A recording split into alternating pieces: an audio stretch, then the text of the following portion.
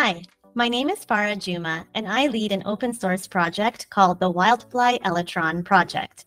I'm so excited that our project has been selected to participate in the 2023 Open Source Day that's being held as part of the Grace Hopper celebration.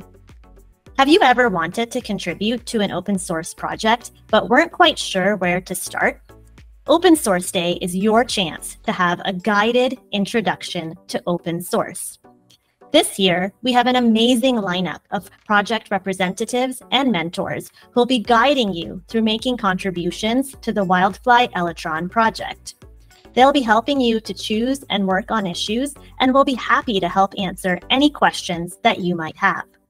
They'll also be able to assist with setting up your developer environment and with submitting your pull requests.